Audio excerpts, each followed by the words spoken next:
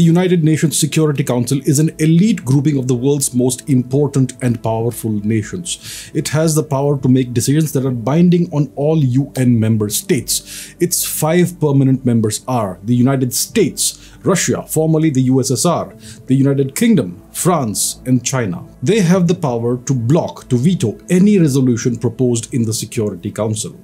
This gives the permanent members enormous influence over the actions of the UN as they can prevent the adoption of any resolution that they see as being against their interests. Since 2014, Prime Minister Modi has been actively pursuing a permanent seat for India on the UN Security Council.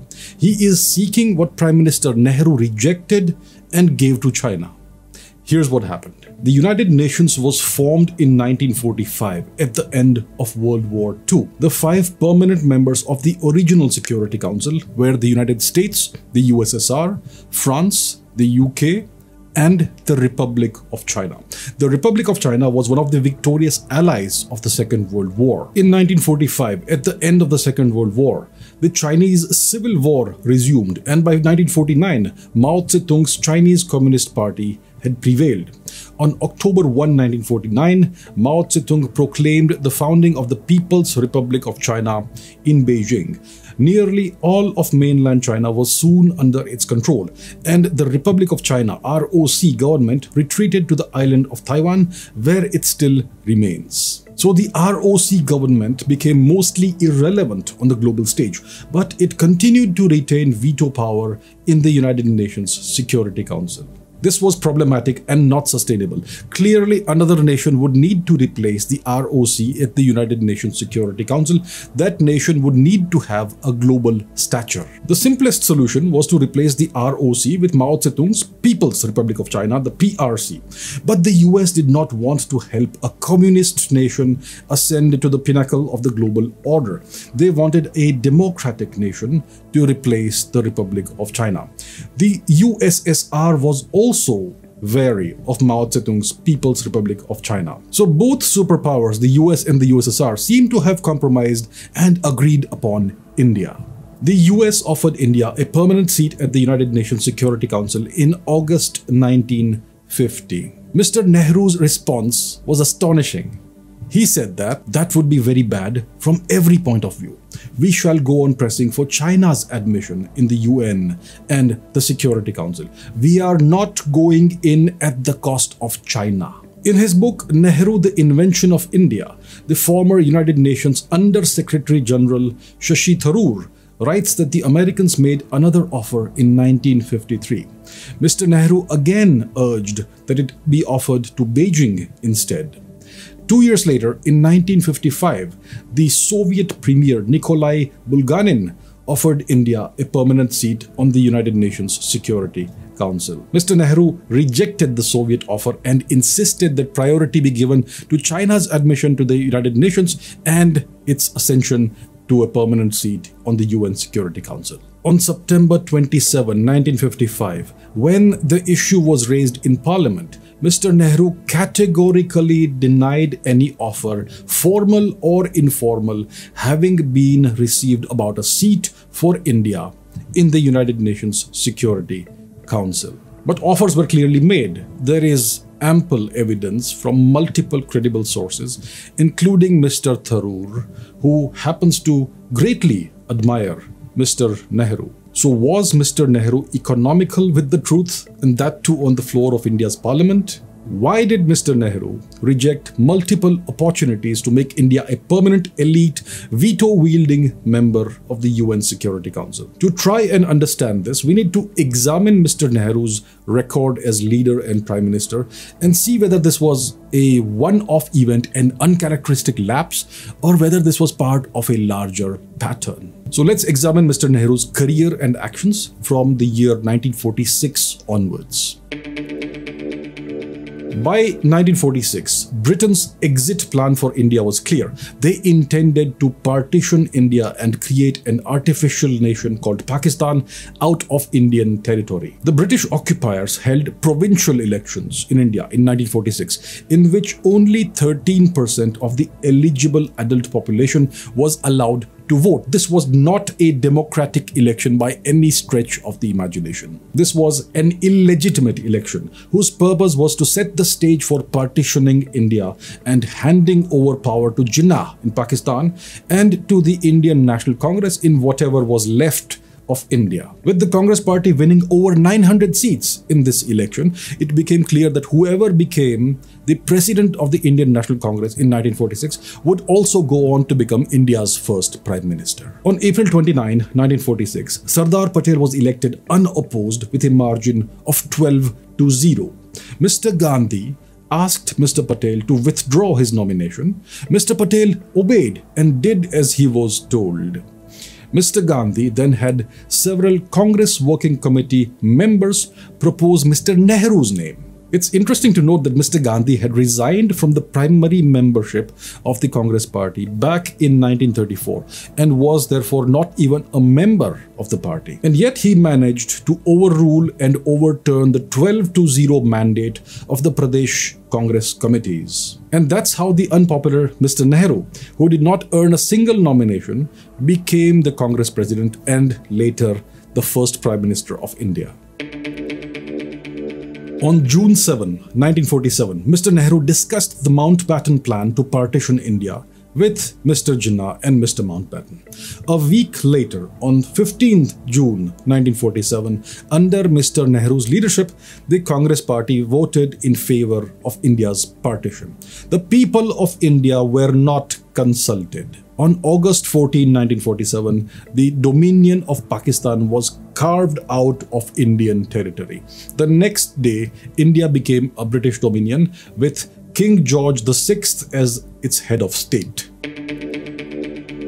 Mr. Nehru single handedly created the Kashmir issue, the Kashmir dispute, which should never have been a dispute. Jammu and Kashmir's ruler, Maharaja Hari Singh, offered his kingdom's accession to India in July 1947, in September 1947, and on October 21, 1947, but Mr. Nehru refused each time. Mr. Nehru refused Jammu and Kashmir's accession to India an incredible three times. There was no provision for the Indian government to refuse a princely state's accession to India. And yet Mr. Nehru did just that. By late October 1947, Pakistan had invaded Jammu and Kashmir and their forces were almost on the outskirts of Srinagar. Finally, Mountbatten and not Mr. Nehru accepted the instrument of accession signed on October 26, 1947. The Home Minister, Mr. Patel, was finally allowed to intervene and he sent the Indian army to Kashmir and prevented Pakistan from taking over Srinagar and the rest of Jammu and Kashmir. The accession of Jammu and Kashmir to India was unconditional. The Maharaja signed the exact same document that every other princely state signed. And yet Mr. Nehru decided that the circumstances of Jammu and Kashmir's accession to India were special this was a special case, and he decided that the accession would be conditional to the wishes of the people of the state. Mr. Nehru then internationalized this issue by taking it to the United Nations and by committing the government of India to the holding of a plebiscite in Kashmir. By late 1948, the Indian army was on the verge of recapturing Muzaffarabad. Mr. Nehru ordered the Indian army to suspend all offensive operations with effect from January 1, 1949, even though the Pakistanis did not stop fighting. This is how Pakistan occupied Kashmir came into existence and remains in existence. The Kashmir issue was single-handedly created by Mr. Nehru. The region of Kalat lies at the heart of Balochistan. Just like Maharaja Hari Singh of Jammu and Kashmir, the last Khan of Kalat, Mir Ahmad Yar Khan, wanted to accede to India. This became public knowledge on March 27, 1948, when VP Menon, then Secretary to the Government of India, gave a press conference on All India Radio and said that the Khan of Kalat was pressing India to accept Kalat's accession, but India would have nothing to do with it. The Pakistani government heard about this and that very same day, on Jinnah's orders, the Pakistani army invaded the independent state of Balochistan and forcibly annexed it to Pakistan. The Khan of Kalat was taken to Karachi and forced to sign the instrument of accession to Pakistan. This was the beginning of Pakistan's brutal and oppressive and exploitative occupation of Balochistan, which still continues. And that's how Balochistan became a part of Pakistan instead of India, thanks to Mr. Nehru. The port of Gwadar is situated less than 200 kilometers from the port of Chabahar in Iranian Balochistan, in which India has a strategic interest and a significant stake. Gwadar was given as a gift to Oman by the then Khan of Kalat in the last quarter of the 18th century. After 1947, Gwadar was administered by India on behalf of the Sultan of Oman because the two nations enjoyed excellent relations. The two nations still enjoy excellent relations. In 1948, the Sultan of Oman offered Gwadar to India. Prime Minister Nehru refused the offer on the grounds that India could not defend Gwadar from Pakistan. Oman eventually sold Gwadar to Pakistan for $3 million. Gwadar has now become a Chinese strategic asset. In 1948, India had one of the most powerful, advanced, and battle hardened navies in the entire world.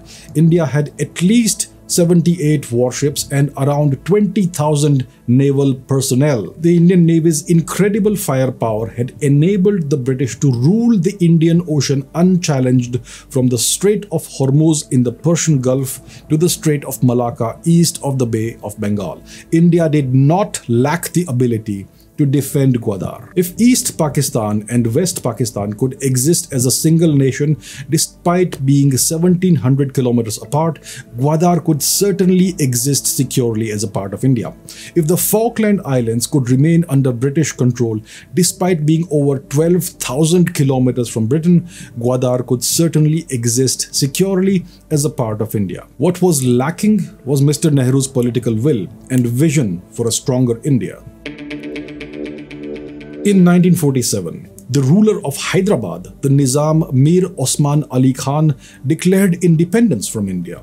His 200,000 strong paramilitary force, the Razakars, unleashed horrific atrocities on the Hindu populace of Hyderabad. Home Minister Sardar Patel wanted to take direct military action to liberate Hyderabad. Mr. Nehru, though, wanted to take the Kashmir route and take the matter to the United Nations. Mr. Nehru humiliated Mr. Patel in a cabinet meeting and called him a complete communalist. Mr. Patel never attended a cabinet meeting again. Nevertheless, in September 1948, Mr. Patel launched Operation Polo, a police action that liberated Hyderabad in just five days. Mir Osman Ali Khan was removed from power but allowed to keep all his personal wealth as well as his title. Mr. Nehru maintained friendly relations with him. Imagine if Mr. Patel had allowed Mr. Nehru to take the Hyderabad matter to the United Nations. Hyderabad would be another Kashmir today. The Coco Islands is a group of three islands that forms the northernmost portion of the Andaman archipelago in the Bay of Bengal. These islands have historically never been a part of Burma. They have never had a Burmese presence on them before 1948. These islands were part of British India, the British Raj, and they were administered by British officials from Burma, which was a province of British India from 1882 to 1937. In 1937, the British separated Burma province from British India and began administering it separately. In 1947, the Andaman Islands and the Nicobar Islands became part of India, but the Coco Islands did not not because Burma wanted them, but because Britain wanted to deny India these islands. The British imperialists had no business or legal basis deciding what happened to these islands. India could have simply incorporated the islands into the Andaman and Nicobar Islands territory, and there was nothing the British would have done about it. Mr. Nehru chose not to do anything about this.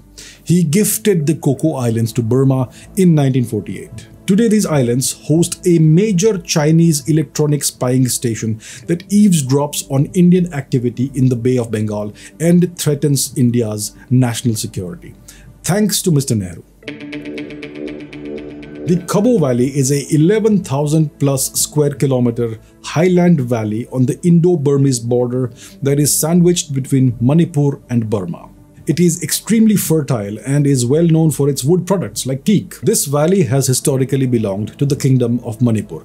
This fact was confirmed through the Treaty of Yandabo which was signed in 1825. The Kabaw Valley was leased to Burma in 1834. It was given on lease. According to an agreement signed that year, the Kingdom of Manipur was to be paid a monthly sum of 500 rupees by the British for leasing the Kabaw Valley to Burma. The treaty also stipulated that this monthly payment would cease only when the Kabaw Valley was handed back to Manipur. Manipur gained independence from the British in 1947 and merged into the Union of India in 1949. Burma stopped paying the lease for the Kabaw Valley in 1949 and with Mr. Nehru's consent annexed the valley. Mr. Nehru generously gifted an immense and resource-rich Indian territory to Burma without consulting the people of Manipur, the inhabitants of the valley, or the Parliament of India, as if the valley was his own personal property. The Chinese invasion of Tibet, which began in 1950, ended with the annexation of Tibet in 1951. This culminated in the 1962 war between India and China, which has been portrayed as the Great Chinese Betrayal. Mr. Nehru called it a stab in the back with great pain and anguish. In his 2018 book, Will Tibet Ever Find Her Soul Again? the French-born historian and journalist Claude Arpi has made an explosive revelation. Mr. Nehru's government supplied rice to the invading Chinese troops in Tibet when they were busy invading this nation in 1950 and 1951. Mr. Arpi writes that the most grotesque incident of this period was the feeding of the PLA troops with rice coming from India.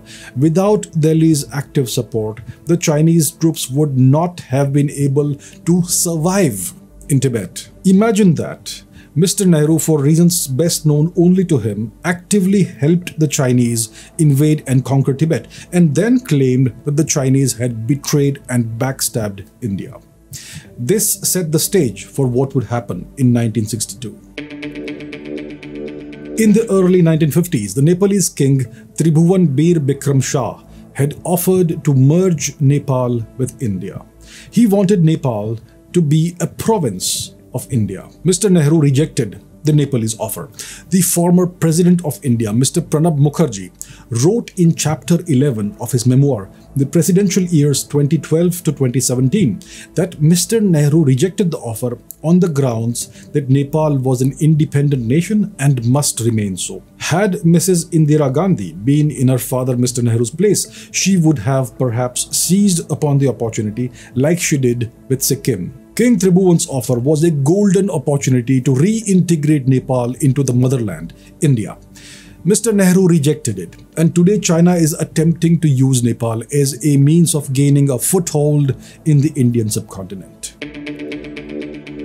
In 1956, five years after they annexed Tibet, the Chinese started constructing a military highway through the Indian territory of Aksai Chin. Construction of the 1200 kilometer road lasted from March 1956 until completion in October 1957. Mr. Nehru's government did not even learn of the road's existence until September 1957. In July 1958, the existence of the highway was confirmed by published Chinese maps, which not only showed the new route but also placed all of Aksai Chin in Chinese territory. That same month, in July, the government of India sent an initial protest to Beijing and also sent two patrols to reconnoiter the road.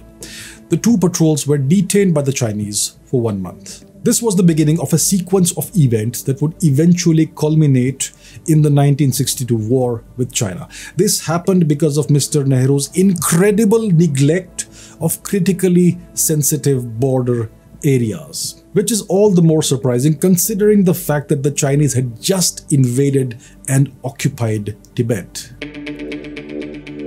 In 1960, Mr. Nehru signed the Indus Waters Treaty, which gives Pakistan control and ownership of 80% of the waters of the Indus River and its tributaries. This is probably the most unequal and lopsided treaty in history. A larger nation with a huge population gave up 80% of the water of rivers that pass through its territory to an enemy nation. Why did Mr. Nehru agree to such terms? Nations have negotiated better terms even after losing wars. Who did Mr. Nehru serve, India or Pakistan? Edwina Mountbatten, who was a close friend of Mr. Nehru, died on February 21, 1960. In accordance with her wishes, she was to be buried at sea. As a way of paying tribute to his friend, the grief-stricken Mr. Nehru sent the Indian Navy's warship INS Trishul as an escort to her funeral and had a wreath cast in her memory. Now, one understands that Mr. Nehru would be distraught and would want to pay tribute to his friend, but using an Indian warship for personal matters was clearly extremely inappropriate. Mr. Nehru seems to have had a proclivity for treating Indian assets and territories as his own personal property in the early 1960s, before the 1962 India China War, US President John F. Kennedy offered to help India detonate a nuclear device. President Kennedy felt that democratic India and not communist China should become the first Asian country to conduct a nuclear test. Mr. Kennedy's letter emphasized that nothing is more important than national security. Mr. Nehru, for reasons best known to him, rebuffed the offer.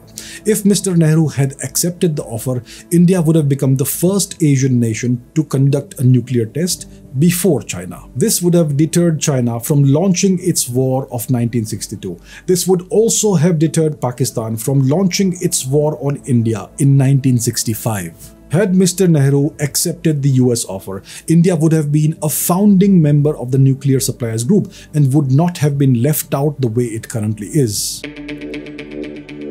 On October 20, 1962, the Chinese People's Liberation Army launched two attacks on India, a thousand kilometers apart. One was in Aksai Chin and the other was in Arunachal Pradesh. This war would continue until November 21 that year and ended in a Chinese victory. The reasons for India's defeat are discussed in detail in Brigadier John Dalvi's book Himalayan Blunder and Rajnikant Puranik's book Nehru's 97 major blunders. Let me give just two examples. The Indian army lacked equipment for mountain warfare. It lacked weaponry and basic essentials like warm clothing, snow boots, and glasses all under the watch of Mr. Nehru's government. And Mr. Nehru's most glaring blunder was not allowing the Indian Air Force to be used in an offensive role. Mr. Nehru only allowed helicopters and transport aircraft to be deployed in limited roles. Who benefited from this? China, obviously. The responsibility for India's defeat in the 1962 war with China lies squarely with Mr. Nehru. In 1963, the year after China invaded India, Mr. Nehru appointed his sister Vijaya Lakshmi Pandit to lead India's delegation to the UN General Assembly in New York. In a news conference there, she declared that India would continue to support China's admission to the United Nations despite China's unprovoked aggression against India. She said that it was a matter of principle and had nothing to do with the relations between India and China. One wonders what principle compelled Mr. Nehru and his government to support an enemy nation and promote its interests at the expense of India's interests. Mr. Nehru sadly passed away on May 27, 1964. He was known for being disturbed and filled with unease at Hindu temples in southern India. He was known for portraying India as a nation of snake charmers to foreign dignitaries and he was known for giving an interview to Playboy magazine in 1963, the year after the Chinese debacle. What we have covered is merely a brief highlights reel of Mr. Nehru's actions and achievements as Prime Minister of India. There's a lot that I've not covered because it would take too much time, but it's clear that Mr. Nehru's rejection of multiple opportunities for India to become a permanent veto-wielding member of the UN Security Council was not a one-off event. Although his decision to deny India The permanent, veto wielding membership of the UN Security Council has no logical explanation. It was clearly part of a much larger, consistent pattern of actions from 1946 all the way to 1964 that repeatedly and consistently hurt India's national interests, strengthened India's adversaries such as Pakistan and China at India's expense, eroded India's global geopolitical stature, and created essentially every single problem that India faces today. The Nehruvian years were India's lost years. India's immense potential was wasted. Opportunities that come by once in a century were squandered. That is Prime Minister Nehru's legacy. As Prime Minister of India, Mr. Nehru was duty bound to serve India and her people. He was duty bound to prioritize India's national interests over those of other nations. Did he do that? Who did Mr. Nehru serve through his actions. Intentions don't matter. Words don't matter. The only thing that matters is actions and the consequences of those actions. Were Mr. Nehru's actions beneficial for India or were they beneficial for someone else? You must judge. You must decide. Let me know what you think in the comments below. Thank you for watching.